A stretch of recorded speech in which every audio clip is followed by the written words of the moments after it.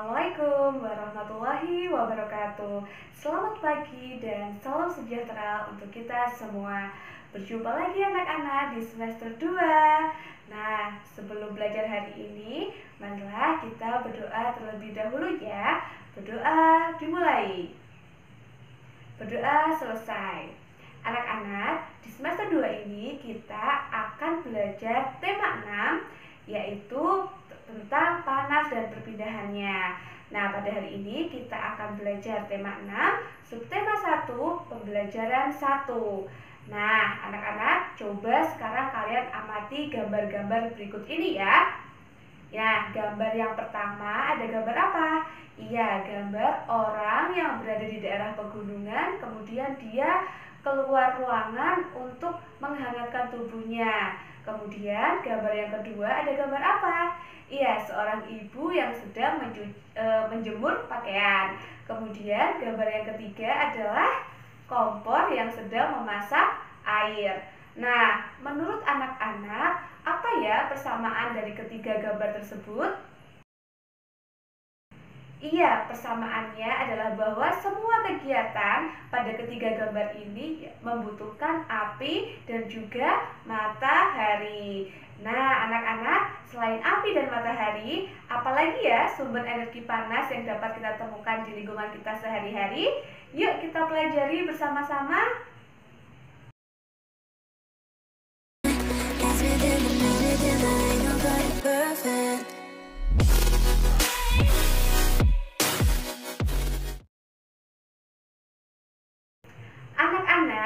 Benda-benda yang dapat menghasilkan energi panas disebut dengan sumber energi panas. Nah, sumber energi panas yang sering kita jumpai dalam kehidupan sehari-hari tentunya selain api dan matahari yang sudah kita sebutkan tadi, ada banyak. Ada apa saja sumber energi panas yang sering kita jumpai? Yang pertama ada lilin yang menyala. Nah, yang kedua ada kompor. Kompor yang sedang dinyalakan dia akan menghasilkan api. Kemudian ada lava dan magma yang terdapat dalam gunung berapi.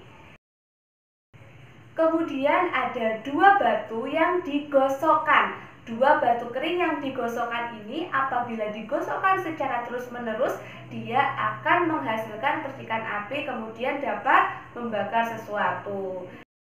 Nah, sumber energi panas yang berikutnya adalah setrika.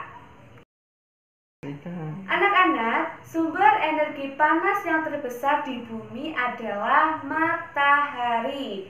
Nah, semua makhluk hidup ini, semua makhluk hidup yang ada di bumi ini memerlukan energi matahari. Nah, apa saja manfaat energi matahari bagi makhluk hidup yang ada di bumi? Yang pertama adalah bagi tumbuhan. Nah, energi panas matahari ini membantu proses pembuatan makanan pada tumbuhan yang sering kali kita sebut dengan proses fotosintesis. Nah, kemudian ada manfaat sumber energi panas bagi manusia. Apa saja? Yang pertama adalah energi panas matahari membuat udara di bumi menjadi hangat. Kemudian, energi panas matahari juga digunakan untuk mengeringkan padi yang baru saja dipanen. Nah, manfaat matahari yang ketiga yaitu energi matahari digunakan untuk mengeringkan ikan asin dan juga untuk mengeringkan pakaian yang basah. Anak-anak, manfaat sumber energi panas bagi manusia yang berikutnya adalah berasal dari api. Nah, api ini digunakan untuk memasak makanan dan merebus air. Yang selanjutnya, panas setrika digunakan untuk menghaluskan pakaian yang kusut. Dan yang terakhir, uap panas digunakan untuk pembangkit listrik tenaga uap. Nah, sekarang ayo kita lakukan bersama-sama ya anak-anak. Coba kalian menggosokkan telapak tangan kalian selama 10 detik ya. 1 2 3 4 5 6 7 8 9 10 Kemudian coba kalian tempelkan di pipi kalian. Hmm, apa yang kalian rasakan anak-anak? Iya, ternyata gesekan antara dua telapak tangan kalian menghasilkan energi panas. Ketika kalian menempelkan di pipi kalian, pipi kalian akan terasa hangat. Nah, ini adalah bukti bahwa dua benda yang saling bergesekan akan menghasilkan energi panas. Nah, anak-anak, selain matahari dan gesekan antara dua benda, energi panas juga dapat diperoleh dari api. Pada zaman dahulu kala, orang mendapatkan api dengan cara menggosokkan dua batu kering seperti gambar yang di awal tadi sampai keluar percikan api. Nah, selain itu, nenek moyang kita dahulu menggunakan kayu kering juga. Kemudian digosokkan ke tanah yang kering. Nah, jadi kayunya diputer-puter seperti ini, digosokkan ke tanah yang kering sampai keluar api. Namun, saat ini api sangat mudah ditemukan anak-anak, yaitu dengan ditemukannya korek api dan juga kompor. Untung saja kita sudah hidup di zaman modern ya anak-anak. Nah, untuk lebih memahami apa saja sumber energi panas yang ada di lingkungan kita, coba anak-anak buka buku paket halaman 2 ya. Nah, di situ ada sebuah paragraf yang berjudul Sumber Energi Panas. Kita baca bersama-sama ya. Benda yang dapat menghasilkan energi panas disebut sumber energi panas. Sumber energi panas dapat kita jumpai di alam. Salah satunya adalah matahari. Matahari merupakan sumber energi terbesar. Semua makhluk hidup memerlukan energi matahari. Energi panas matahari membantu proses pembuatan makanan pada tumbuhan yang disebut sebagai proses fotosintesis. Makanan yang dihasilkan dari hasil fotosintesis menjadi sumber energi bagi makhluk hidup lainnya termasuk manusia. Nah, anak-anak, sekarang coba kalian amati paragraf yang pertama tadi ya. Sekarang kita sekaligus akan membahas tentang kata kunci. Apa ya kata kunci itu? Kata kunci adalah kata-kata penting atau kata-kata yang dianggap penting dalam sebuah paragraf. Coba kita amati lagi paragraf pertama tadi ya. Nah, di situ kata pentingnya apa saja? Ada energi panas. Nah, kata kunci, kata yang dibahas dalam paragraf ini adalah tentang energi panas. Kemudian ada apa lagi? Iya, yang dibahas dalam paragraf ini ada sumber energi. Dan kata kunci yang ketiga adalah proses fotosintesis. Nah, anak-anak, sekarang kita lanjut ke paragraf 2 ya. Ini e, paragrafnya, coba kalian baca dulu, videonya di pause dulu, kalian baca. Nah, sudah? Nah, sekarang coba kita temukan bersama-sama kata kunci dalam paragraf tersebut.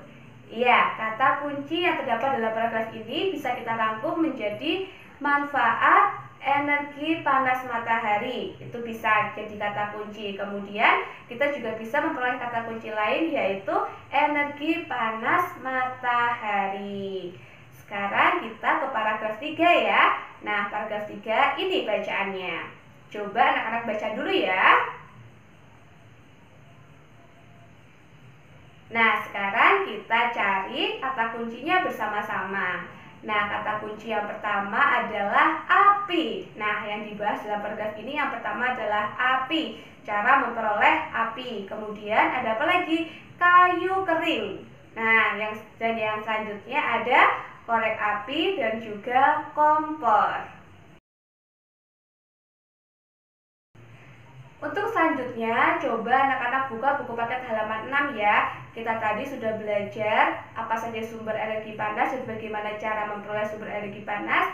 Sekarang coba anak-anak perhatikan, kalian amati kegiatan orang-orang di sekitar kalian yang memanfaatkan energi panas. Misalnya ada apa saja? Yang pertama misalnya dalam kegiatan menanak nasi atau memasak nasi. Nah, alat yang digunakan pada zaman dahulu yaitu panci dan kompor. Nah, Kemudian sumber energi panas yang digunakan apa saja? Tentu saja api yang berasal dari kompor. Namun pada zaman sekarang ini memasak nasi bisa menggunakan alat elektronik yang bernama rice cooker. Nah, rice cooker ini sumber energi panasnya berasal dari listrik. Kemudian kegiatan merebus air. Nah, kegiatan merebus air ini zaman bisa diperoleh menggunakan dengan dua kegiatan. Yang pertama yaitu dari panci dan kompor. Nah, sumber energi panasnya tentu saja dari kompor. Kemudian kalau menggunakan alat elektrik, alat elektronik, teko elektronik, otomatis sumber energi panasnya kita peroleh dari listrik. Kegiatan yang ketiga adalah menyetrika pakaian. Nah, menyetrika pakaian ini alat yang digunakan adalah setrika arang. Nah, panasnya diperoleh dari mana? Dari e, panas yang berasal dari arang. Kemudian kalau zaman sekarang sudah ada setrika modern, setrika elektrik, otomatis sumber energi panasnya diperoleh dari listrik. Kegiatan yang keempat adalah mengeringkan pakaian. Nah, mengeringkan pakaian secara manual yaitu dengan dijemur di bawah terik matahari. Nah, tentu saja sumber energi panasnya diperoleh dari matahari. Sedangkan ada juga mesin pengering pakaian otomatis, tentu saja sumber energi panasnya diperoleh dari listrik. Nah, anak-anak, sekarang coba kalian amati gambar berikut ini ya. Ada tiga gambar. Gambar pertama adalah es batu yang diletakkan di bawah terik sinar matahari. Gambar yang kedua adalah gambar es batu yang diletakkan di dalam ruangan di atas meja. Dan gambar yang ketiga, es batunya diletakkan di dalam lemari tertutup. Nah, coba anak-anak membuat perkiraan ya, kira-kira es mana ya yang akan mencair lebih dahulu dan kenapa dia akan mencair lebih dahulu? Baik, coba anak-anak praktekkan di rumah masing-masing ya. Jadi es batunya diletakkan di bawah sinar matahari atau di luar rumah, kemudian di atas meja di dalam ruang tamu, kemudian es batunya diletakkan di dalam lemari. Anak-anak sudah melakukan percobaannya?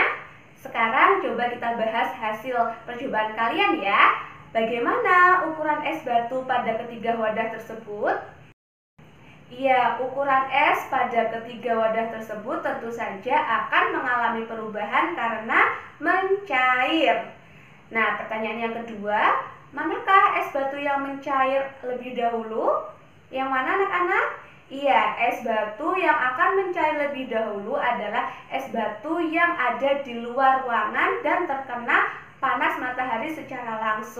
Kemudian disusul oleh es batu yang diletakkan di atas meja di dalam ruangan. Dan yang mencair paling terakhir adalah es batu yang terdapat di dalam lemari tertutup. Pertanyaan yang ketiga adalah mengapa? Coba jelaskan alasanmu. Nah, anak-anak, perbedaan kecepatan mencair pada es batu tadi dipengaruhi karena es yang berada di dalam ruang ruangan, di dalam luar ruangan mendapatkan sinar matahari secara langsung sehingga mendapatkan energi panas lebih banyak jika dibandingkan dengan es di dalam ruangan dan es yang terdapat di dalam lemari tertutup. Es di dalam ruangan mendapatkan panas matahari tidak secara langsung, sedangkan es yang terdapat di dalam lemari tidak mendapatkan panas matahari. Nah, anak-anak, berdasarkan percobaan kalian, apa yang dapat kalian simpulkan? Iya, kesimpulannya adalah sumber energi panas dapat mengakibatkan adanya perubahan suatu benda. Nah, adanya perubahan suatu benda ini terkait dengan perubahan ukuran es. Perpindahan kalor dari suatu benda dapat terjadi karena pengaruh sumber energi panas.